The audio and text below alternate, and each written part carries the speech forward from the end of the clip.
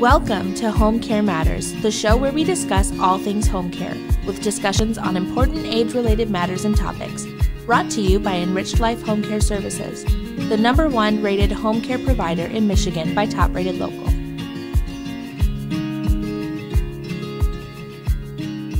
Hello, and welcome back to All Home Care Matters. If this is your first time visiting us here at the show, thank you for taking time out to be with us today. We appreciate and understand how valuable everyone's time is. And that is why we try and make each episode here at All Home Care Matters something that will hopefully matter to you.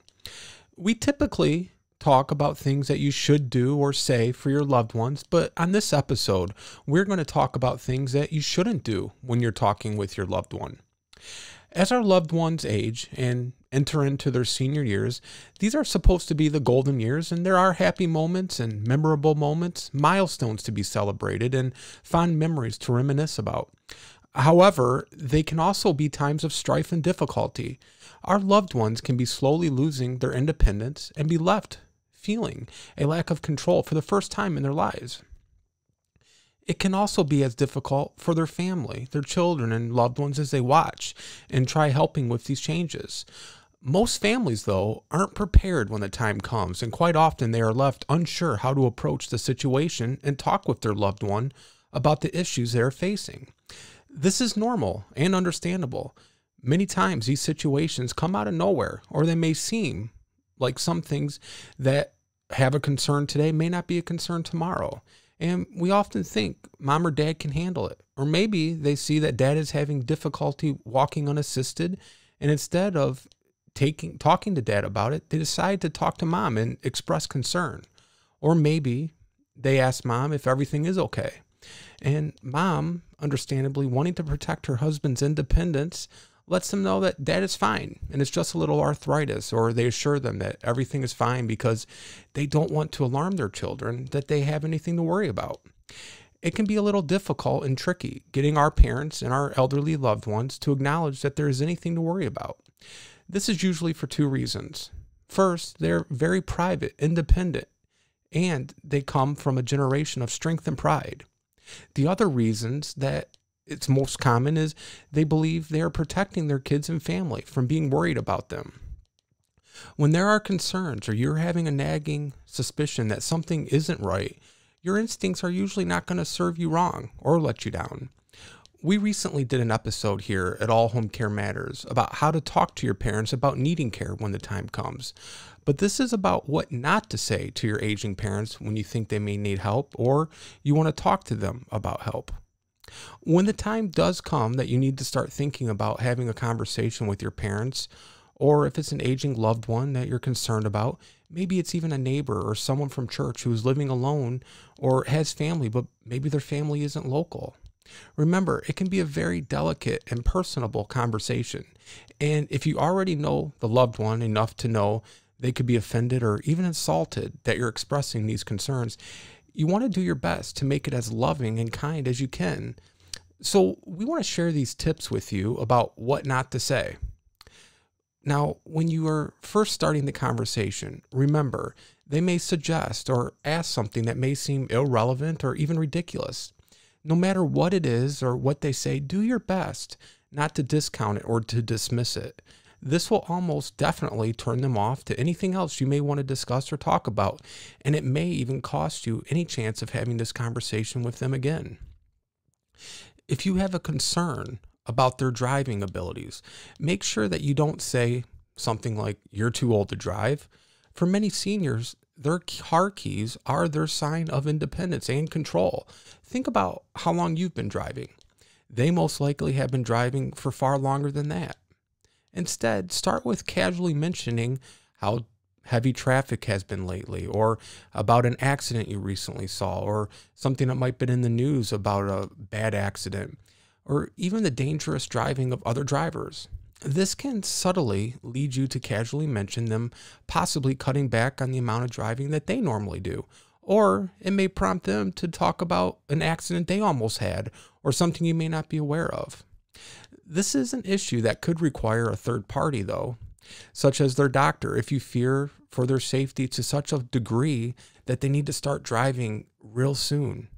The doctor can also play that role of the bad guy and allow you to express frustration with the doctor for making such a ridiculous decision so that they do not resent you for having their driving privileges restricted. Let the doctor be the bad guy. You want to be on their side, even though you know it's for their best interest, without them blaming you. Now, if you have a loved one who has experienced falls, or maybe they're having a hard time walking, or they have to lean on furniture or other objects just to get from point A to point B, they may need a cane or a walker, or maybe they have one and they don't use it. Don't chastise them and say, you need to use a cane or you need to use a walker. This is because most seniors and the elderly view these assistive devices as something like a scarlet letter. They feel that it identifies them to others as being old or frail, and they will typically refuse to use them unless they can understand there's a reason for it. Now, per Jasmine Marcus, a physical therapist with McCune and Murphy Physical Therapy in Ithaca, New York, Jasmine further goes on to explain that even people in their 80s will say that walkers are for old people and I'm not old yet. This is the problem and something you may know firsthand with your loved ones. These fears, though, can lead seniors to tell their doctors or their families little white lies so that they won't think they need a walker or a cane or some type of assistive device. Or they may even have one, like we said earlier, but conveniently they forget to use it or bring it with them when leaving the house. You can help your loved ones avoid hazards by expressing your concern for their safety and explain you would never want them to have a serious fall or injury. If they don't think this could happen to them, maybe you know of someone or one of their friends that did have a serious fall or injury and explain you don't want to see them end up in that situation. If your loved one is living alone, or maybe their spouse recently passed and now they are all alone in their home. It's a big adjustment for them and the family. There may be concerns for their safety now that they're living alone, and you want to share your concerns with them. Make sure you don't say you shouldn't live alone anymore. This is a hard thing for seniors and our elderly to hear and accept. They have been living alone and on their own ever since they left their parents' home. And this is one of the first signs of independence as we're growing up. When we first move out of our parents' home, that's the first sign of freedom and having our own place and being able to make our own decisions. Instead of approaching this issue by saying you shouldn't live alone anymore, try approaching it with them as a mutual concern. They may even have a couple of concerns or things that they may be thinking about as you're talking with them. Take an approach of trying to find a solution together share with them that you're concerned that if something happened or there was an emergency that nobody would be there to help them. This approach can lead to good solutions and conversation that they can be a part of. They may be open to getting an emergency alert system like Life Alert or one of the other brands. The two of you could speak with one of the neighbors that you trust and maybe have a relationship with already and ask them if they wouldn't mind keeping an eye out. And if they feel comfortable, maybe even giving them a spare key to the home. Another often forgotten about option is your mailman or mail lady. They come to the home typically six days a week, Monday through Saturday. And odds are they have a routine. And if your loved one maybe waves at them when they come, or they greet them at the door, or they just come by and maybe the mail's stacking up and notices it hasn't been picked up lately. Ask them just to keep an extra eye out. Explain the situation that you have a few concerns and your mother, your father, or whoever the loved one is, is living alone. And if you notice anything, give them your cell phone number. Most mail delivery people are excellent, excellent people who do keep eyes out for people in their neighborhood that they may have concerns about, or if a family's asked them to keep an eye out for. That's a wonderful suggestion that oftentimes isn't thought about. And it's one that you can even do very discreetly without your loved one knowing if you feel like they're going to be offended or embarrassed. Something that is fairly common in older seniors is quite frequently they talk about their health ailments and their doctor's appointments that they have. These are things that you may hear quite often, and it may even seem like you hear on repeat. This requires compassion and patience for sure. One thing that you don't want to say, though, is you never feel good, or I've heard that story a hundred times, or yes, I know. How many times are you going to tell me? Or cut them off when they're telling you the same thing today as they told you yesterday. Instead, let them vent and let them know you're sorry that they're in pain or that they have to manage multiple medications or that they have to keep going back to this doctor. But then try to shift the conversation or topic to something positive and uplifting. Maybe one of their grandchildren achieved something at school recently, or there's a family event coming up. Doing this helps to turn their attention away from their health and ailments and will hopefully bring them something of joy to talk about. As our loved ones age, it can become more and more difficult and challenging to keep track of all of their appointments and commitments. There will undoubtedly be a missed appointment or a forgotten obligation. Don't chastise them with saying, I can't believe you missed that appointment. This can lead to them losing trust and confidence with confiding in you, and they may not tell you the next time they miss the appointment. Instead, when it does happen, be supportive, be understanding about it, and even let them know that you've missed appointments yourself and they can call or reschedule.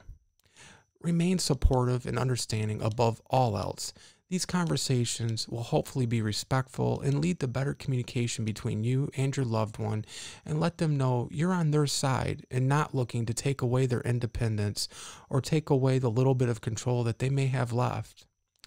However, sometimes, no matter how hard we try and no matter how respectful and kind we are with our approach and words, it can seem like it doesn't matter.